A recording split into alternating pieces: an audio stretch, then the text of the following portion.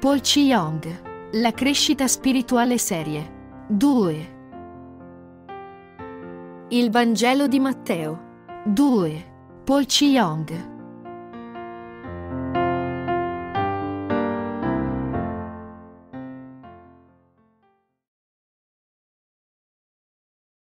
Credete in Gesù Cristo che venne come nostro Dio.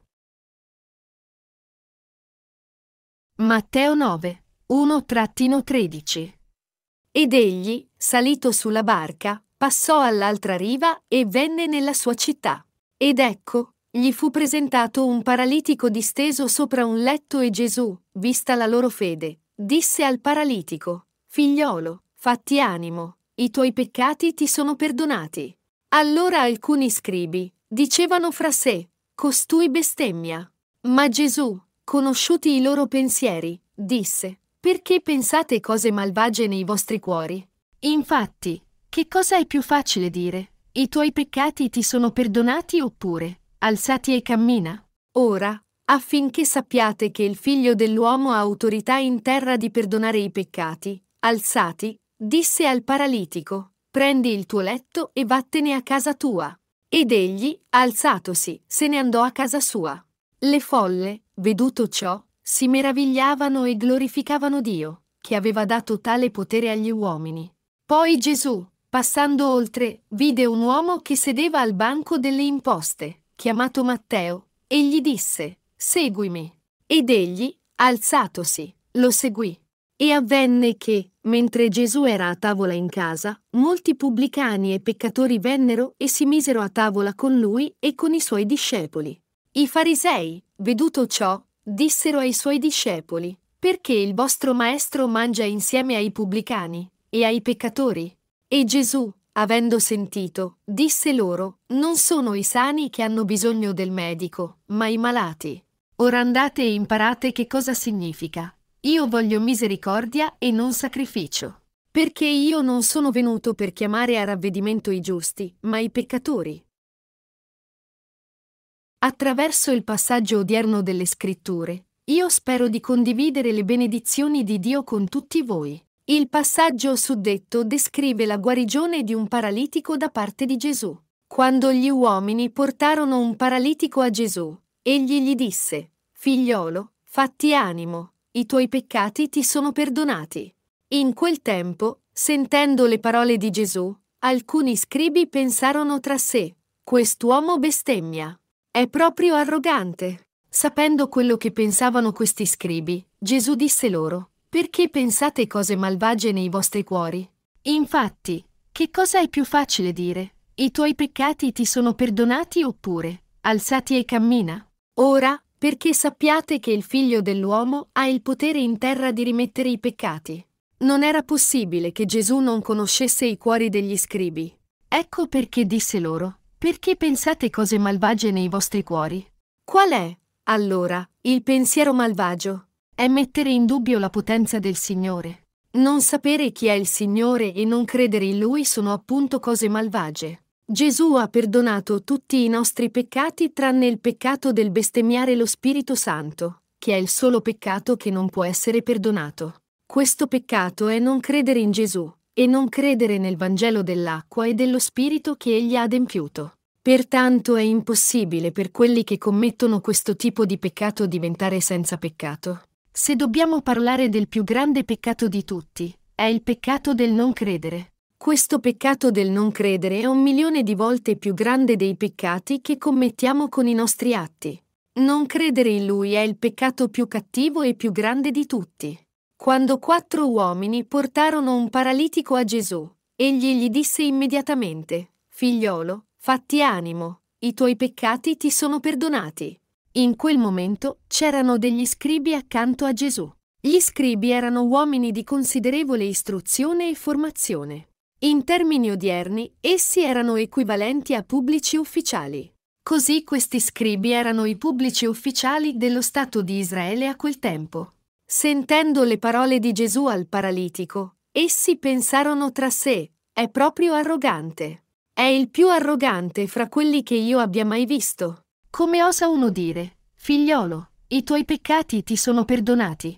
Non riesco a comprendere come quest'uomo chiamato Gesù può dire tali parole. È blasfemo. Essi pensarono che Gesù dicesse parole che nessun uomo doveva dire. Poiché Gesù disse, Figliolo, i tuoi peccati ti sono perdonati, questi scribi, che non credevano che Gesù fosse Dio, non potevano fare a meno di pensare in questo modo.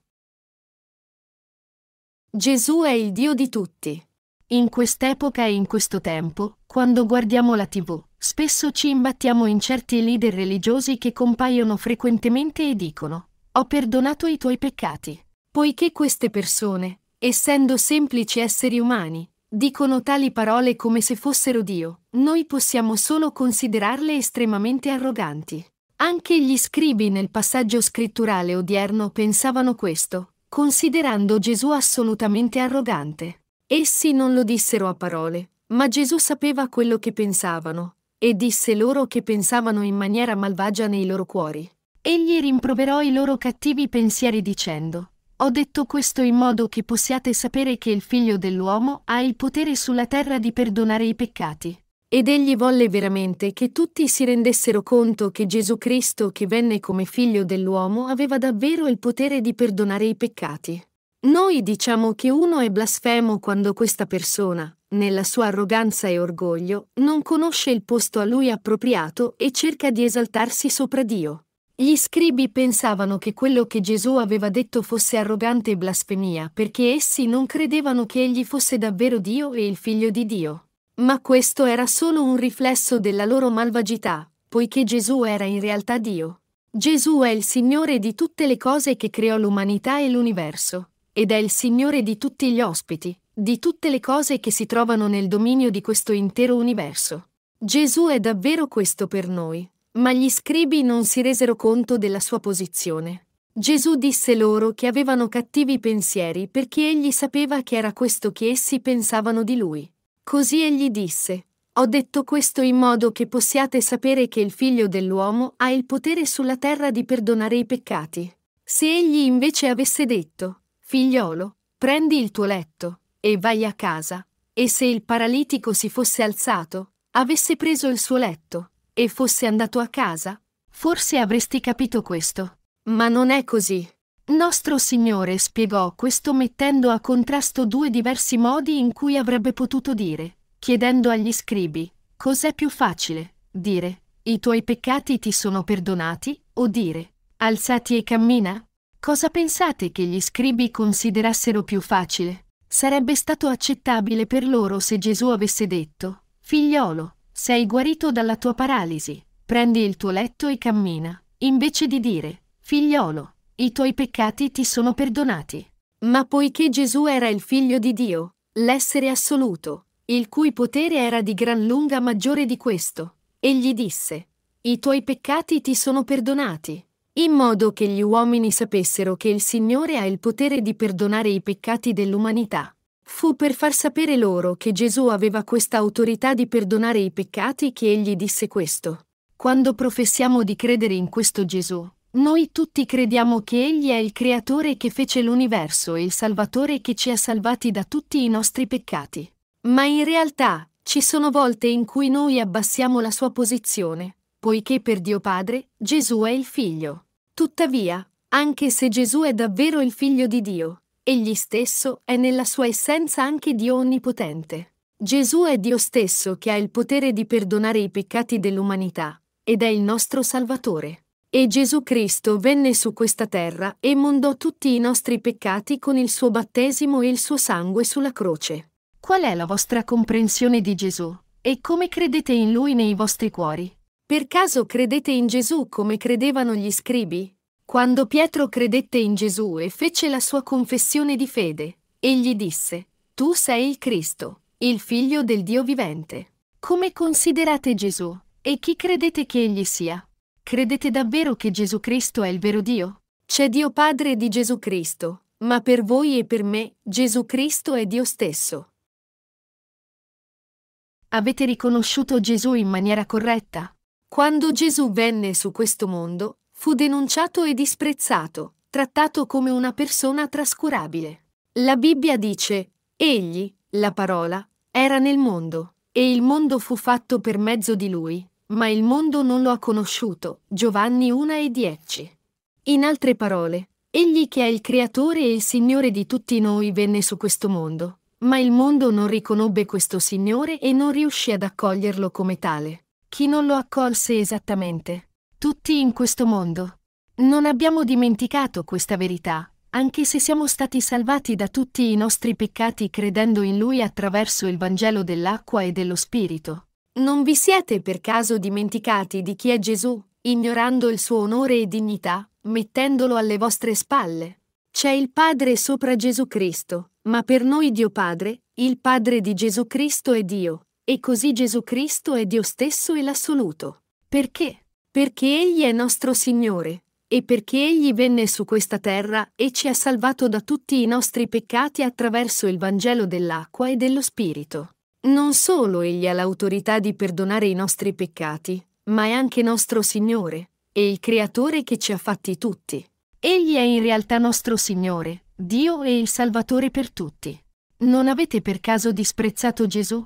In altre parole, non stiamo pensando a Gesù come in qualche modo inferiore a Dio Padre, poiché Egli è il Figlio di Dio, nonostante il fatto che Gesù è Dio stesso. Da un punto di vista umano, molti hanno la tendenza a pensare che Gesù Cristo sia a un livello inferiore di suo Padre. Ma Gesù è anche il vero Dio per noi, 1 Giovanni 5 e 20. Per suo Padre, Gesù Cristo è davvero il Figlio, ma per noi Egli è Dio. Questa fede è estremamente importante. Gesù è Dio stesso e non deve essere ignorato affatto, l'Onnipotente che non deve essere abbassato neanche un po'. Avere dubbi sulla divinità di Gesù equivale a commettere il peccato di blasfemia. Il Dio che è non solo diventato il Salvatore che ci ha salvati da tutti i nostri peccati, ma anche il nostro vero Signore, non è altri che Gesù Cristo. Se non abbiamo la fede che conosce e crede in Gesù correttamente, noi siamo destinati ad avere pensieri malvagi come gli scribi, e finiamo col disprezzare Gesù. Qual è il male per noi di accusare Gesù di blasfemia? Quanto è malvagio non credere in Lui. Non credere in Lui è il peccato più grande di tutti. È perché gli uomini non credono in Lui che sono destinati all'inferno. Voi ed io dobbiamo credere in Gesù Cristo come nostro Salvatore e il Figlio di Dio.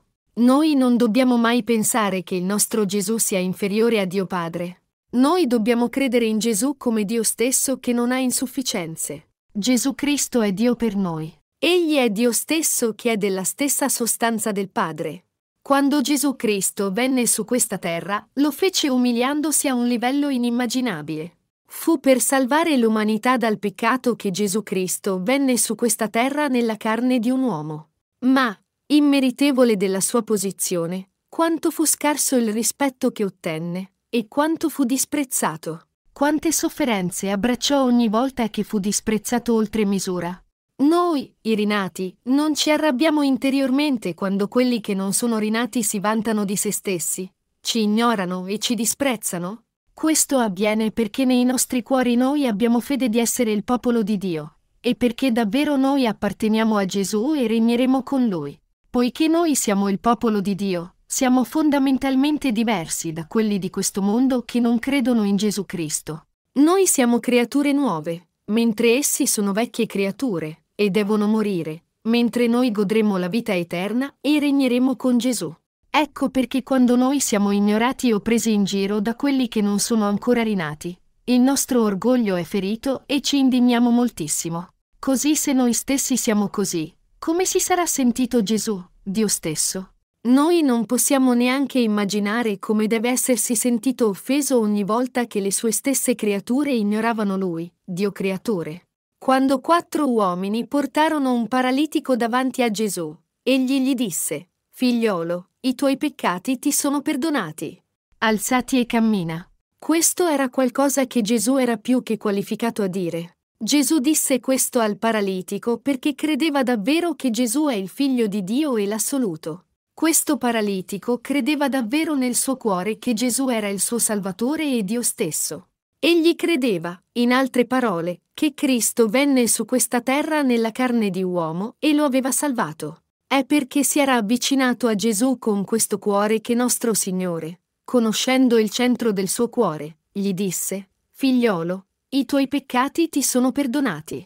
Fu perché il paralitico riconobbe chi era Gesù e credette in lui che fu veramente perdonato da tutti i suoi peccati mediante la fede.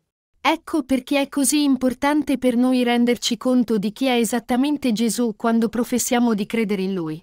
Se non riconosciamo e comprendiamo appropriatamente Gesù, allora tutta la nostra fede è destinata a cadere. È quando conosciamo Dio correttamente che la nostra fede diventa completa. Se non conosciamo Gesù Cristo in maniera appropriata quando crediamo in Lui, i nostri cuori non possono stare su una fede salda. Anche se noi siamo stati salvati dai nostri peccati credendo nel Vangelo dell'acqua e dello Spirito. Quelli che non hanno la fede corretta non possono restare retti. Anche se sono giunti ad avere la conoscenza che consente loro di ricevere la remissione dei peccati, essi non sanno come essere guidati, a chi obbedire o come vivere. E alla fine essi giungono ad abbandonare la loro fede. Ecco perché noi dobbiamo credere non solo in questo Vangelo, ma dobbiamo vivere il tipo di vita che crede in Gesù e lo segue. Se noi siamo stati rimessi dai nostri peccati credendo in Gesù Cristo, allora siamo diventati il suo popolo che deve obbedire alla sua volontà secondo i suoi comandamenti. È del tutto appropriato che Gesù desse la remissione dei peccati e comandare non solo noi popolo di Dio, ma tutti in questo mondo.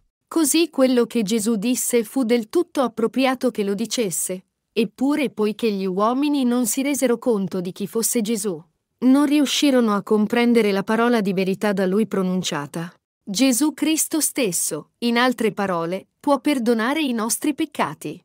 Non c'è altro nome con cui possiamo avere i nostri peccati rimessi. È scritto nella Bibbia, e in nessun altro vi è la salvezza, poiché non c'è alcun altro nome sotto il cielo che sia dato agli uomini, per mezzo del quale dobbiamo essere salvati, Atti 4 e 12. Nel passaggio odierno delle scritture, Gesù stesso dice anche, perché io non sono venuto per chiamare a ravvedimento i giusti, ma i peccatori, Matteo 9 e 13. Solo Gesù ha tale autorità. In realtà, quel che appare formidabile ai nostri occhi è piuttosto semplice per lui. Noi dobbiamo credere in lui dal suo punto di vista. Sulla base di tale fede, noi invochiamo Dio ogni volta che preghiamo. Così facendo, noi confessiamo che Egli è Dio, e invochiamo non solo Dio Padre, ma anche Gesù e lo Spirito Santo. Per noi, Dio Padre è Dio, come è Dio Gesù Cristo e anche lo Spirito Santo. Poiché Dio uno e trino è un solo Dio, quando noi invochiamo il suo nome e crediamo in Lui. Non dobbiamo pensare a Gesù o allo Spirito Santo come a un Dio che è in qualche modo inferiore a Dio Padre. Invece, noi dobbiamo pensare a loro come allo stesso Dio.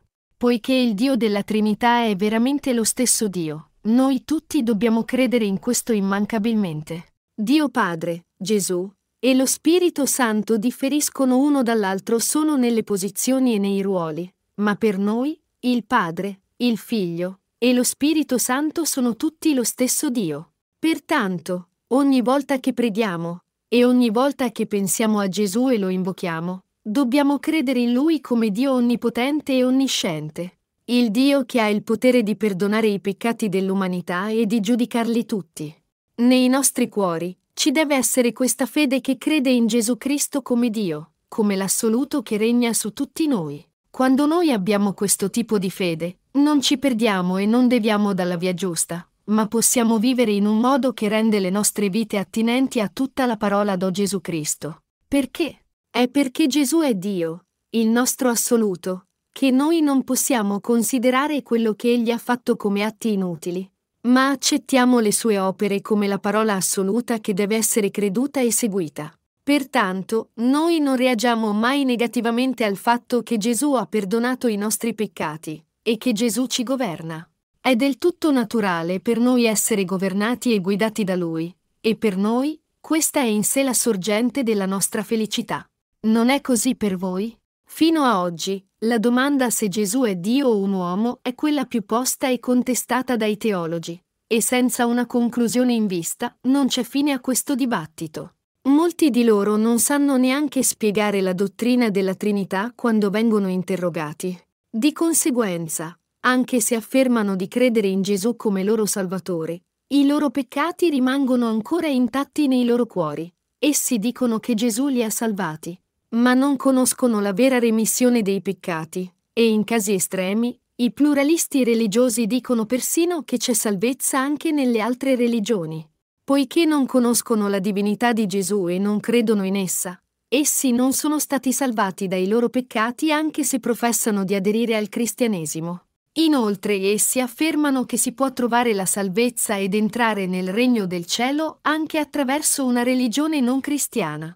E si giustificano invocando la necessità di trovare un'armonia pacifica con le altre religioni. Ecco perché essi sono tutti destinati a morire. Cosa condusse questi cosiddetti dottori della divinità a dire tali cose? Essi dicono queste cose perché non sanno chi è davvero Gesù e non credono che sia Dio stesso. Così mentre essi riconoscono che Egli è il Salvatore che ha il potere di perdonare i peccati, quando si tratta della questione se Egli è un uomo o Dio, non si rendono conto che Egli è in realtà Dio. La loro fede è come una casa costruita sulla sabbia, e crollerà tutto in una volta in men che non si dica. La rovina di un potente fondatore di un culto. Ci fu un famoso fondatore di un culto cristiano che fu piuttosto influente in tutta la Corea per un certo periodo. Prima di fondare il suo culto, egli era un anziano nella chiesa presbiteriana. Un giorno, un potere stupefacente e miracoloso scese su di lui. Ogni volta che egli imponeva le mani sulle persone nel nome di Gesù, esse venivano sanate dalle loro malattie, e così molti iniziarono a riverirlo e a seguirlo. Egli infine lasciò la chiesa presbiteriana per fondare la sua denominazione. Indossando bianche vesti e stando davanti a molti, egli esercitava il suo potere apparentemente miracoloso, e ogni volta che lo faceva, i suoi seguaci saltavano intorno, applaudivano e gridavano di gioia, facendo tutti insieme una scena molto impressionante. I suoi seguaci persero completamente la ragione, riempiendo il suo tesoro con gioielli preziosi, d'oro e di argento. Con un solo raduno, egli riusciva a raccogliere abbastanza gioielli preziosi e tesori da riempire diverse grandi borse, e così divenne estremamente ricco in breve tempo, comprando grandi estensioni di terreni e case. Anche se aveva accumulato la sua grande ricchezza esercitando tali prodigi e miracoli nel nome di Gesù, poiché non credeva in Gesù come Dio stesso, e neanche in Dio e nella parola di Dio, quando fu ai suoi ultimi giorni, finì col maledire e bestemmiare Gesù. Così ordinò ai suoi portaborse di togliere ogni croce dalle sue chiese. Alla fine giunse a negare Gesù, e la sua fede crollò completamente. Questa fu la fine di uno che non credeva in Gesù come Dio. La radice della nostra fede che crede in Gesù Cristo come nostro Salvatore è il fatto che Gesù è Dio. Solo quando noi crediamo che Gesù Cristo è Dio possiamo credere che Egli venne su questa terra nella carne di uomo per noi, si caricò i nostri peccati essendo battezzato, morì sulla croce. E così ci ha salvati. È credendo in questo che noi possiamo ricevere la remissione dei nostri peccati. Solo quando crediamo nella divinità di Gesù possiamo riconoscere che tutta la parola pronunciata da Gesù è vera, e seguirla. Se non credete che Gesù è Dio, la vostra fede è destinata a crollare immancabilmente, per quanto ardentemente possiate credere che Egli sia il vostro Salvatore. E alla fine, quando vi capita di affrontare problemi spirituali mentre servite il Signore, siete destinati anche ad abbandonare Gesù e Dio Padre. Pertanto, è estremamente importante per noi credere che Gesù è il nostro Salvatore, il Dio della creazione, e anche il Signore del giudizio.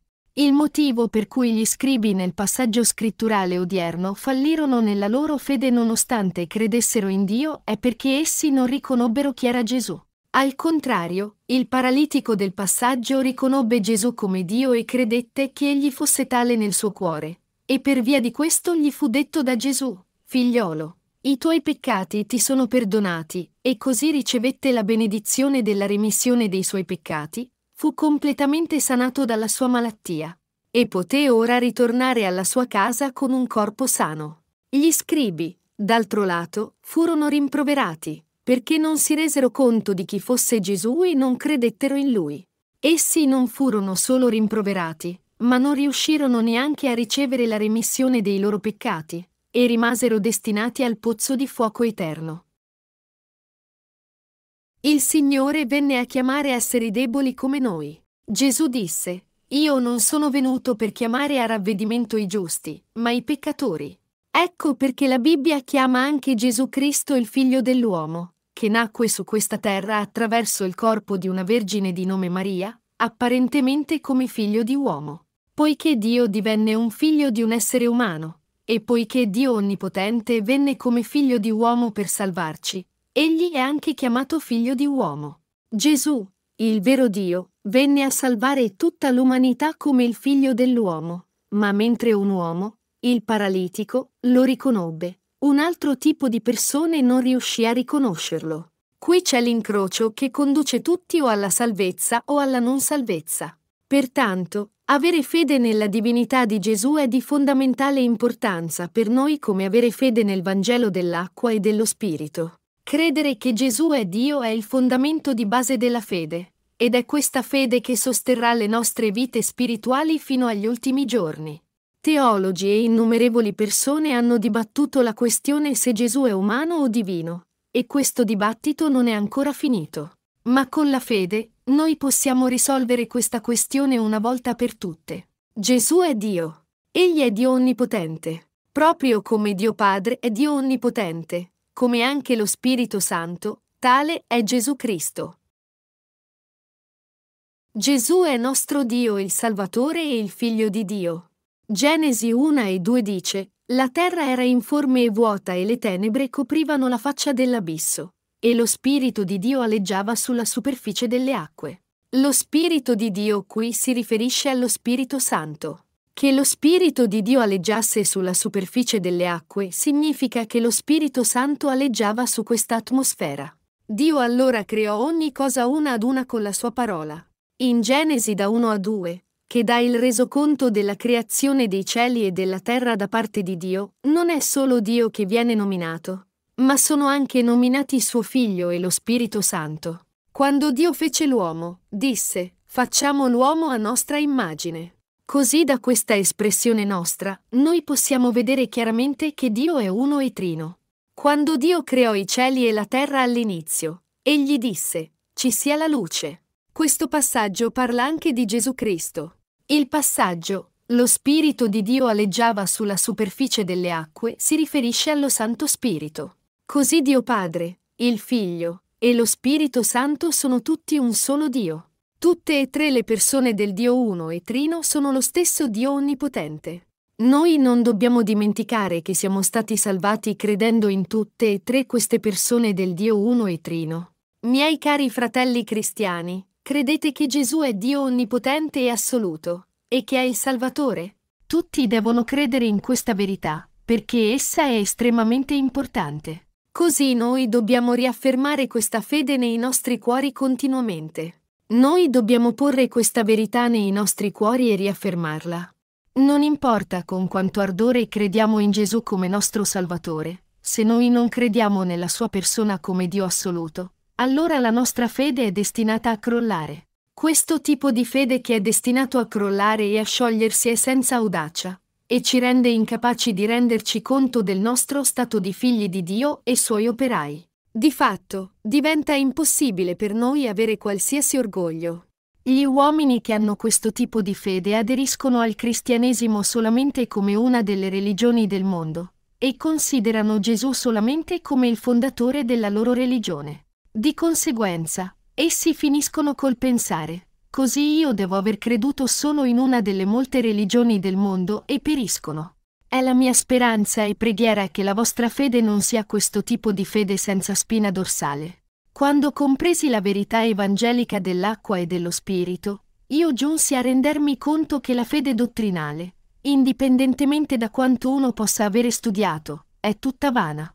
E non è nient'altro che lievito, ci sono vari tipi di teologia che non sono diversi dalla conoscenza secolare di questo mondo, che devono essere gettati nei secchi dell'immondizia. Un tale inutile studio che non ha né le risposte né la verità, ma genera solo controversie giorno dopo giorno, non è altro che lievito.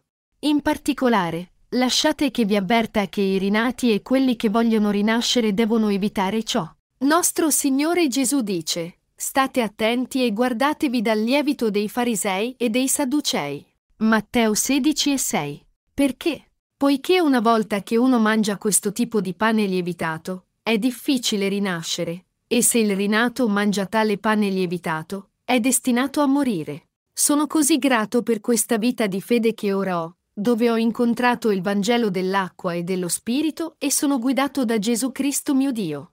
Noi dobbiamo renderci conto e credere che Gesù è assolutamente Dio stesso per voi e per me. Gesù è l'assoluto. Gesù Cristo è Dio assoluto. Egli è il vero Dio che ha la stessa autorità, potere, forza e sovranità di Dio Padre. Gesù una volta disse a Filippo, Chi ha visto me ha visto il Padre, Giovanni 14 e 9. Finora nessuno ha visto Dio Padre, ma chi ha visto Gesù ha già visto il Padre. Questo è perché Gesù è Dio stesso. E Gesù dice anche di avere il potere sulla terra di perdonare i peccati. Noi dobbiamo avere fede nella parola di Dio. Desidero seriamente che voi ed io manteniamo tutti questa fede nei nostri cuori. Anche se vorrei davvero che noi avessimo questo tipo di fede, in questo mondo ci sono molti che sono come gli scribi. Noi dobbiamo tutti essere ben consapevoli di questo fatto. Quando noi predichiamo il Vangelo, per quelli che non credono che Gesù è Dio, per quanto noi parliamo loro del Vangelo dell'acqua e dello Spirito, è tutto vano. Questo avviene perché quando tali persone sentono la parola senza credere nel profondo dei loro cuori che Gesù è Dio, quello che essi sentono si trasforma solo in una mera dottrina. Se voi ed io non vogliamo diventare così, ci deve essere la fede nei nostri cuori, che crede che Gesù che ci ha salvati è fondamentalmente Dio stesso. La parola di verità può operare nelle nostre vite solo quando noi abbiamo fede in Gesù come Dio della creazione che fece l'intero universo e ogni cosa in esso. Fede in Lui come il Salvatore e fede in Lui come Dio del giudizio. Gesù è vivo anche ora e regna su di noi come Dio assoluto. Essendo diventato nostro pastore, Egli ci conduce in buoni luoghi e governa su tutti allo stesso modo, i malvagi e i buoni, i credenti e i non credenti. Noi dobbiamo credere che nessun altri che Gesù Cristo è questo Dio. Noi dobbiamo sapere che questo stesso Gesù Cristo in cui crediamo e su cui ci sorreggiamo come nostro Dio guida l'universo. Chi pensate che sia Gesù? Chi pensate che sia Gesù Cristo? Pensate che sia Dio o pensate che sia un saggio fra gli uomini? Pensate a Gesù come Dio e credete in Lui come Dio. Gesù non può essere confrontato alle semplici creature, perché egli, con Dio Padre e lo Spirito Santo, è colui che creò i cieli e la terra e ogni cosa nell'universo dall'inizio. Chi fece e guida questa galassia? Chi introdusse l'ordine nell'universo e guida questo intero universo con la massima precisione? È Gesù Cristo. Il nome Gesù significa il Salvatore e il nome Cristo significa il Re unto. Questo significa, in altre parole, che Gesù è Dio stesso. Gesù Cristo nostro Dio sta ora guidando questo universo e ogni cosa in esso. Sia il cielo che l'inferno sono anch'essi sotto il dominio di Gesù Cristo.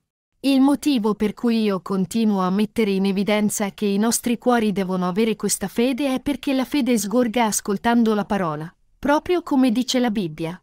La fede dipende dunque dalla predicazione e la predicazione a sua volta si attua per la parola di Cristo. Romani 10 e 17. La vostra fede che è basata sulla parola di Dio vi darà la forza di superare qualsiasi persecuzione o tribolazione a venire. Ecco perché voi dovete continuare ad ascoltare la parola e a fortificare la vostra fede, credendo che Gesù Cristo è il Dio assoluto e che siete rinati attraverso il Vangelo dell'acqua e dello Spirito.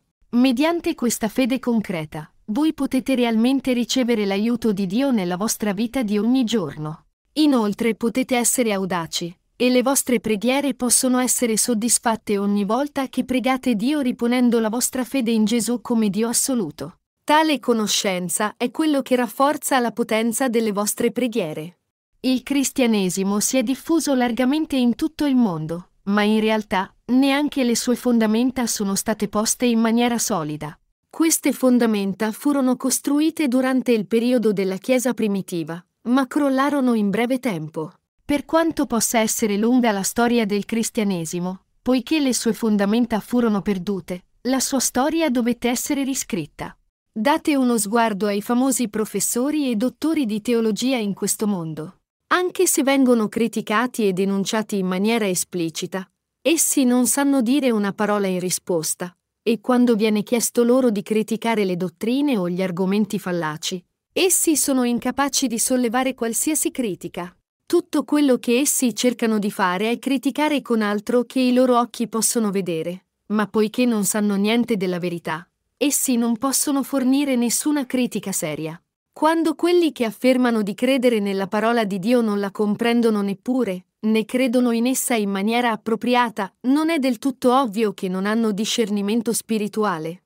Quando pubblicai per la prima volta piccoli pamphlet contenenti il Vangelo dell'acqua e dello Spirito, alcuni pastori e teologi cercarono di denunciarmi, poiché alcuni aspetti di quello che scrivevo sembravano essere diversi da quello in cui essi credevano.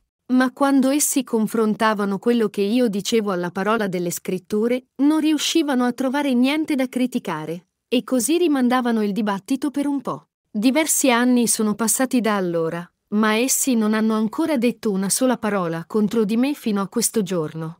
Aprite la Bibbia. Nella Bibbia è scritto il Vangelo del battesimo ricevuto da Gesù e della sua croce. Parla di acqua, che è il battesimo che Gesù ricevette da Giovanni. Noi possiamo trovare la parola evangelica dell'acqua e dello Spirito dappertutto nelle scritture.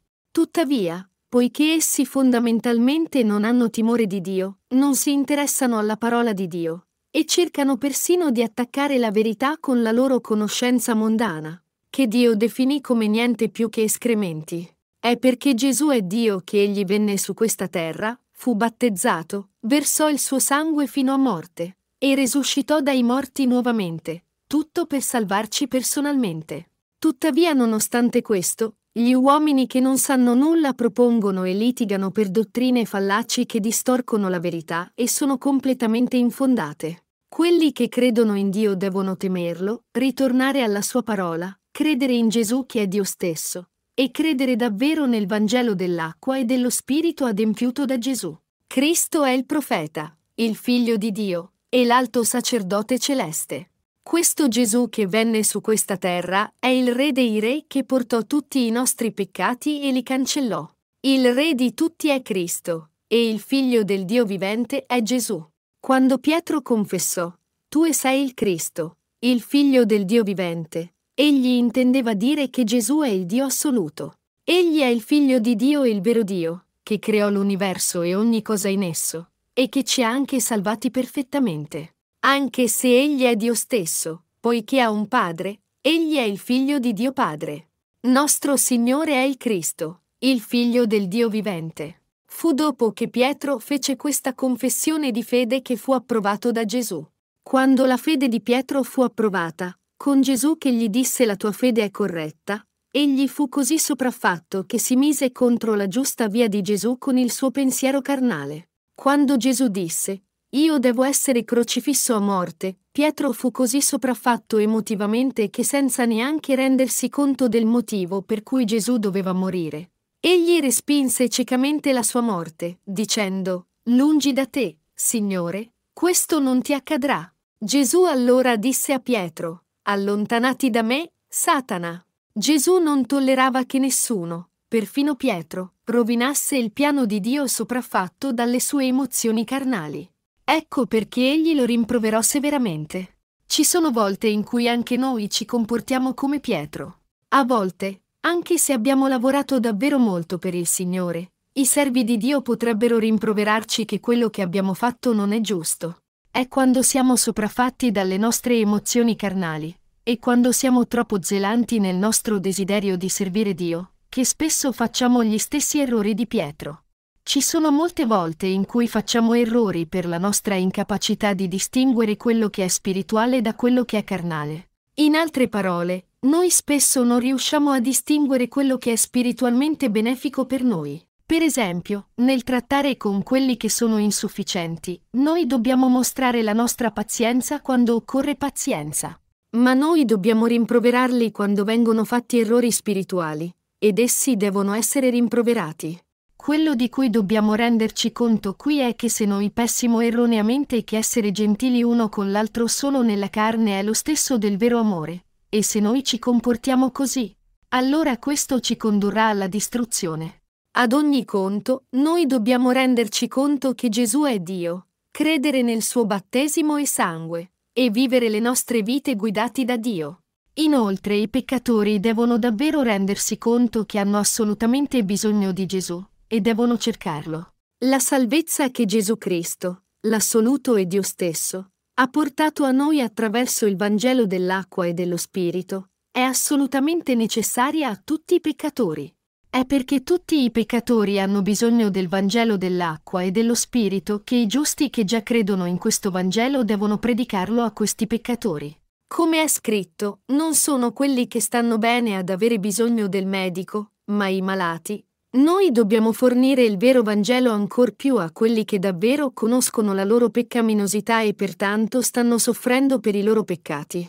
In realtà, ognuno in questo mondo ha bisogno di Gesù, ma ci sono quelli che non si rendono conto di questo bisogno. Di conseguenza, essi finiranno col diventare non credenti in Gesù. Noi dobbiamo credere che Gesù è il Dio assoluto, che ha cancellato tutti i peccati del mondo attraverso il suo battesimo e il suo sangue sulla croce.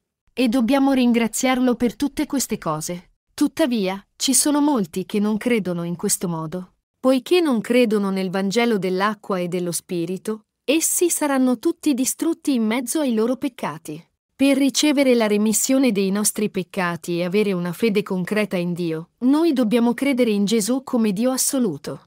Ecco quello che è davvero cruciale. Voi ed io non dobbiamo mai dimenticare, ma credere sempre nel fatto che è perché abbiamo avuto i nostri peccati rimessi e abbiamo davvero accettato Gesù come nostro Dio che siamo stati liberati dalla nostra distruzione.